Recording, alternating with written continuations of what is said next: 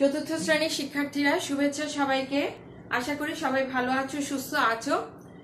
আমরা গত ক্লাসে বেগম রোকেয়াটা রিডিং করেছিলাম এবং এক কথায় প্রকাশ পর্যন্ত পড়েছিলাম। আজকে আমরা আলোচনা করব, দেখো তোমাদের বইয়ের চার নম্বরে আছে কি? যুক্ত বর্ণ যুক্ত বর্ণটা কি? যুক্ত বর্ণ এখানে হচ্ছে ইয় গ, বর্গীয় জ, হসন্ত, প্লাস দিয়ে আমরা কি লিখব? ইয় লিখব। দেখো এখানের মধ্যে আমি একটা ওয়ার্ড লিখেছি, বইয়ের মধ্যে আরও অনেকগুলো ওয়ার্ড আছে। জ্ঞান আছে, বিজ্ঞান আছে, অজ্ঞান আছে। তারপরে এরপরে দেখো আমি একটা লিখেছি, জ্ঞান লিখেছি, দন্ত নয়ন, দন্ত ন হসন্ত, যোগ দন্ত ন, কি হয় অন্ন। হ্যাঁ? তারপরে আমরা এটাকে যুক্তবর্ণ কীভাবে করে লিখব? দন্ত নয়নটা কীভাবে হলো? দন্ত ন হসন্ত, যোগ দন্ত ন। এরপরে দেখো এটাকে আমরা কি করলাম? অন্ন লিখলাম, ভিন্ন লিখলাম নবান্ন লিখলাম। উন্নতিও লেখা যায়। এরপরে আসো, বাম পাশের বাক্যাংশের সাথে ডান পাশের ডান পাশের কি? ঠিক বাক্যাংশ। এগুলো কি করব আমরা? মিলিয়ে পড়ব। এগুলো যদি আমরা মিলিয়ে পড়তে যাই, তাহলে কি আছে এখানে দেখো? রংপুরের পায়রাবন্দ গ্রামে কি করেন? রোকেয়া জন্মগ্রহণ করেন। ম্যাচিং এর মতন হ্যাঁ? বাম পাশ আর ডান পাশ, আমরা যে মিলকরণ করি, সেরকমই হবে। অবরোধ মানে বাড়ির নির্দিষ্ট গণ্ডির মধ্যে আটকে থাকা রাত গভীর হলে ভাইয়ের কাছে ভাইয়ের কাছে শুরু হতো তার কি? শুরু হতো তার জ্ঞান অর্জন। ভাইয়ের কাছে রোকেয়ার রোকেয়ার কি শুরু হতো? রোকেয়ার শুরু হতো জ্ঞান অর্জন। হ্যাঁ এরপরে দেখো মহিয়সীর তারপরে কি আছে? রোকেয়ার বিয়ে হলো ষোলো বছর বয়সে। তার লেখা বইগুলো হলো মতিচুর অবরোধ বাসিনী ও কি পদ্মরাগ। মহিয়সী রোকেয়া নারী জাগরণের কি ছিলেন? তিনি নারী জাগরণের অগ্রদূত ছিলেন। এরপরে আসো, ছ নম্বরে কি আছে আমরা দেখি? ছয় নম্বর আচ্ছা এখানের মধ্যে আরও আছে। রোকেয়ার বিয়ে হলো, রোকেয়ার, রোকে, রোকেয়ার বিয়ে হলো কত? ষোলো বছর ষোলো বছর বয়সে। তারপরে আছে, তার লেখা বইগুলো হলো কি? মতিচুর, অবরোধ বাসিনী ও পদ্মরাগ। মহিয়সী রোকেয়া নারী জাগরণে কি ছিলেন? অগ্রদূত ছিলেন। আচ্ছা এখন আসো ছয় নাম্বার।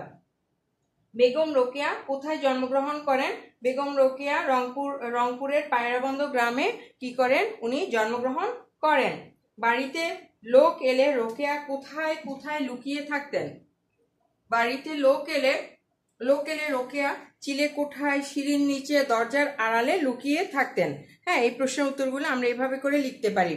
লেখাপড়ার বিষয়ে রোকেয়াকে কে কে সাহায্য করতেন লেখাপড়ার বিষয়ে রোকেয়াকে তার বড় বোন করিমুন্নেসা ও জ্যেষ্ঠ ভ্রাতা ইব্রাহিম সাহেব, ইব্রাহিম সাবের সাহায্য করতেন।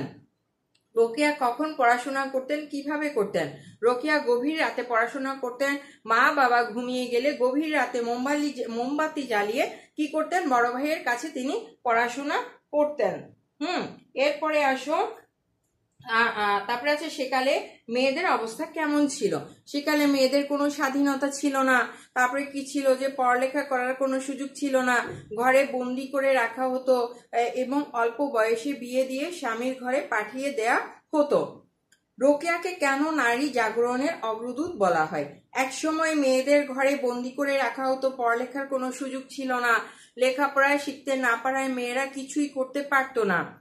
বাইরে কাজের অধিকারও তাদের ছিল না। রোকিয়া নারীদের লেখাপড়া শেখার জন্য কি করলেন? একটি প্রাথমিক স্কুল প্রতিষ্ঠা করেছেন। হুম।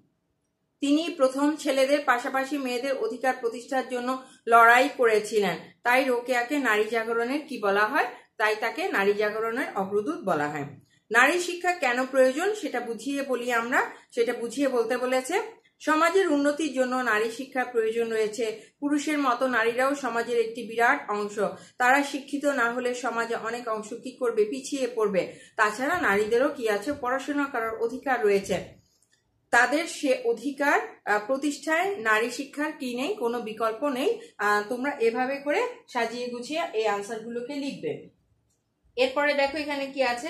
স্বামী মৃত্যুর পর রোকেয়া কি কি কাজ করতে শুরু করলেন তা সংক্ষেপে লিখে। হুম, ওনার যখন স্বামী মারা গেলেন, তখন তিনি কি কি কাজের সাথে জড়ি- জড়িত ছিলেন, কি কি কাজ তিনি করেছিলেন, সেগুলো একটু আমরা লিখব। স্বামীর মৃত্যুর পর রোকেয়া নারী শিক্ষার প্রসারে কাজ শুরু করতে শুরু করলেন। স্বামীর রেখে যাওয়া অর্থ দিয়ে কলকাতায় মেয়েদের একটি প্রাথমিক স্কুল প্রতিষ্ঠা করলেন। মুসলমান মেয়েদের শিক্ষায় পিছিয়ে থাকা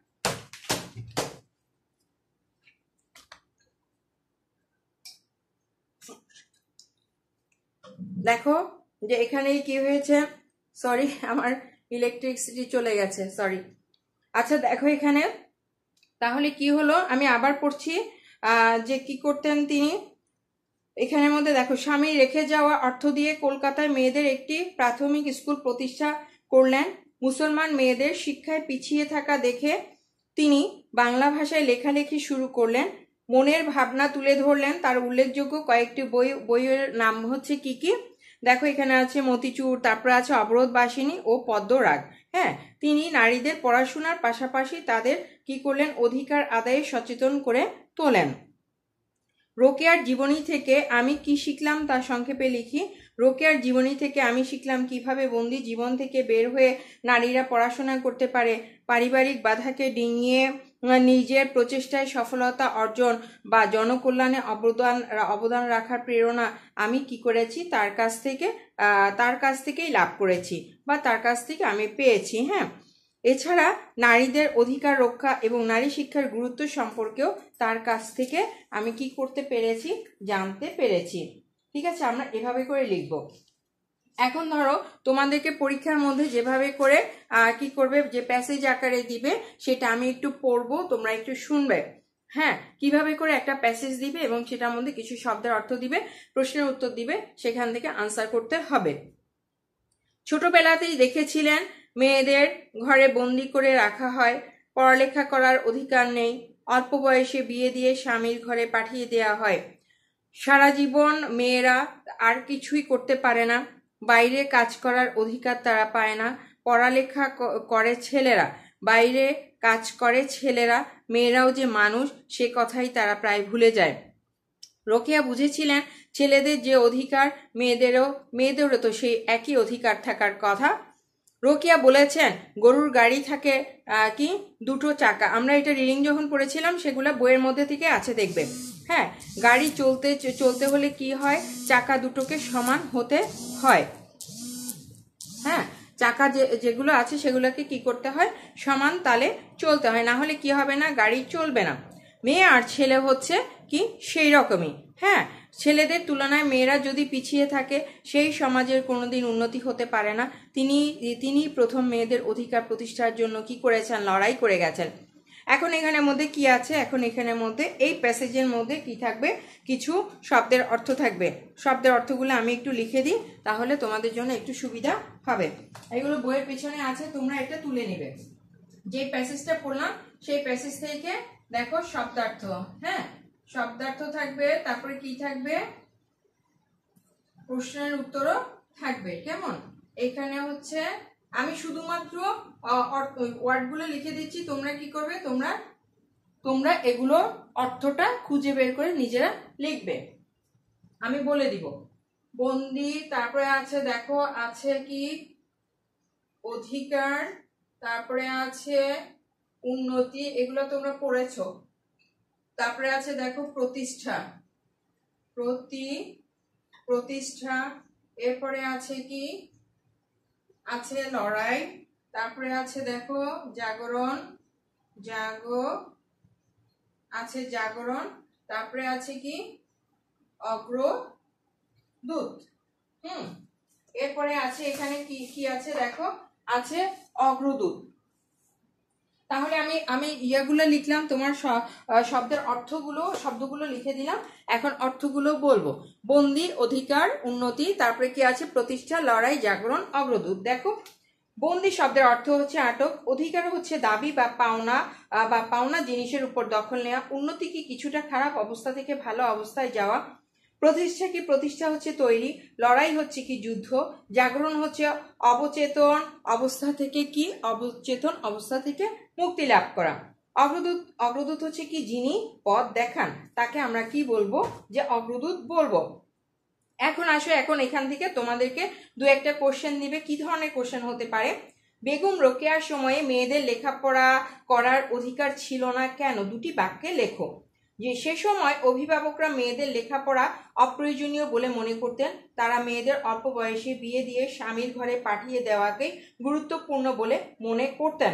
সমাজের উন্নতির জন্য মেয়েদের উন্নত করা দরকার কেন? চারটি বাক্যে লেখো।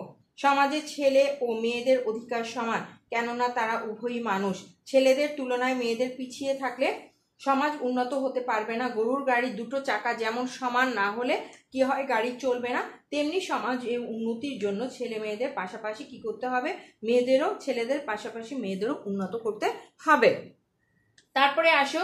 বেগম রোকিয়াকে কেন নারী জাগরণের অগ্রদূত বলা হয়ে থাকে? তা চারটি বাক্যে লেখো। তোমাদের সাধারণত এই ধরনের, এভাবে প্যাসেজ আকারে এভাবে প্রশ্নগুলো থাকবে। একসময় মেয়েদের স্বাধীনতা ছিল না, পড়ালেখা করার সুযোগ ছিল না এবং লেখাপড়া শিখতে না পারায় মেয়েরা কিছুই করতে পারতো না। বেগম রোকেয়া নারীদের লেখাপড়া শেখানোর জন্য একটি প্রাথমিক স্কুল প্রতিষ্ঠা করেন তিনি। প্রথম ছেলেদের পাশাপাশি মেয়েদের অধিকার প্রতিষ্ঠার জন্য লড়াই করেছিলেন। তাই রোকেয়াকে কি ছিল নারী জাগরণের অগ্রদূত বলা হয়। ঠিক আছে?